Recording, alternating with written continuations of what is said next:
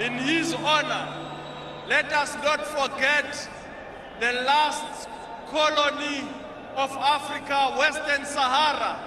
Let us fight to free Western Sahara from oppression. Let us also remember that Madiba said our freedom is incomplete without the freedom of Palestine.